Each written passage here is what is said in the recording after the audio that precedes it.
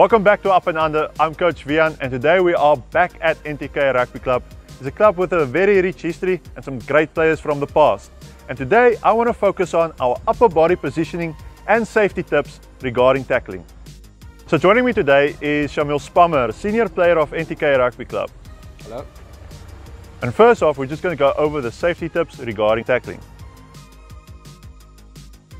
The first one is to drop your height.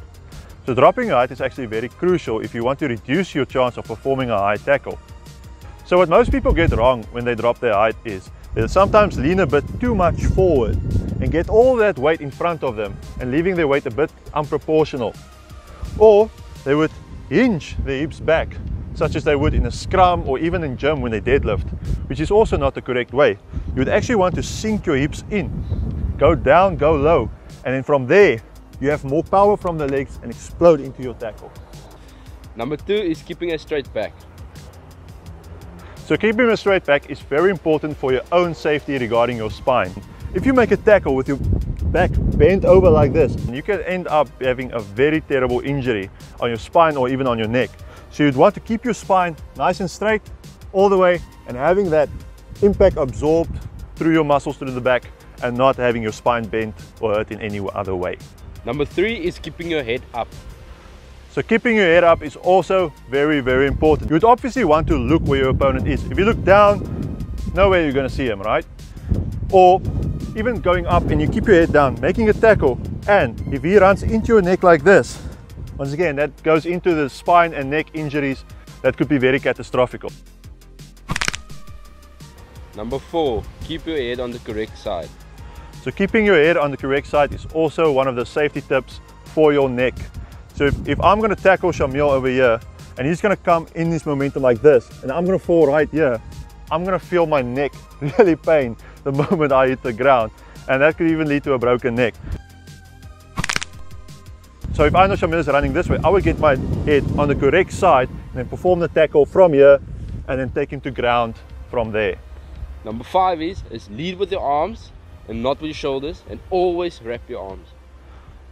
So once again, this is another safety tip, but this one is actually geared towards your opponent and not yourself. But we'd always want to keep each other safe on the rugby field because we are rugby players and not feral people. We want to lead with our arms first to indicate to the referee that we are going to actually wrap our arms when we make a tackle. So if Shamil comes over here, I'm going to lead with my arms and then hit with the shoulders as my arms are going to wrap.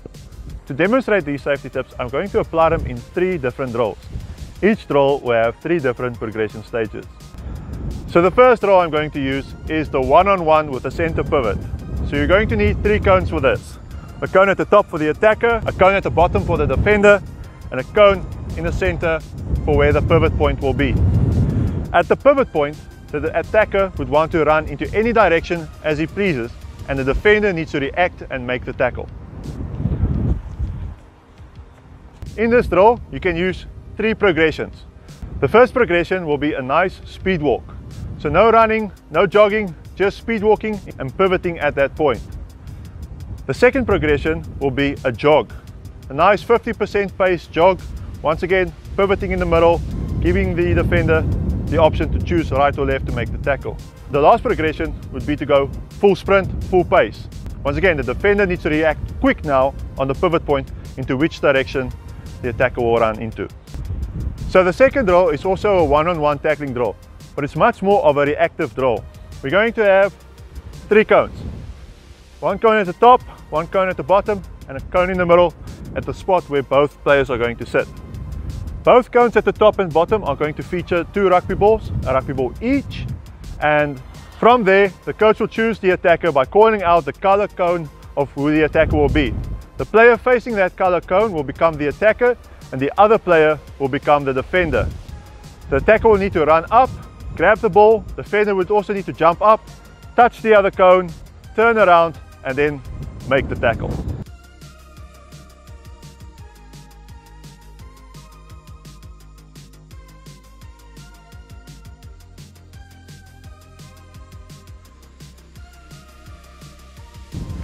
The third and final drill is going to be a one-on-one -on -one tackle in a 5 by 5 meter square, or as I like to call it, the square off.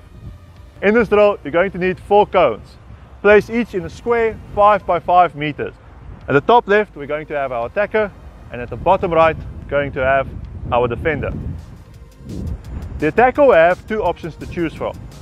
Run in from that side of the gate, or run in from that side of the gate. The defender would then just need to react and run in towards the opposing gate.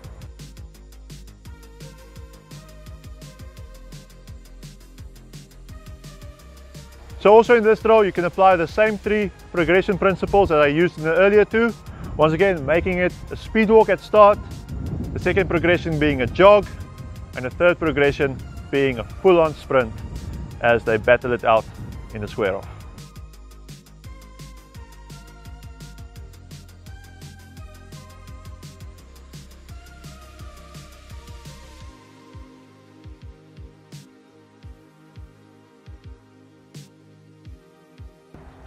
Okay, so that's the end of the video and I hope you find these safety tips and drills helpful for your tackling. Uh, this also completes part two of the tackling drills. So um, yeah, if you like this video, please press the like button and if you would want to subscribe and see more videos, hit subscribe and ring the notification bell to see my videos as I upload them. But other than that, always be ready to take the up and under.